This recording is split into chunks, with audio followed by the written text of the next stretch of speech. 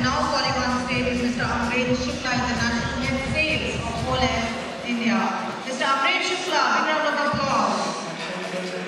Thank you so much and greetings to you.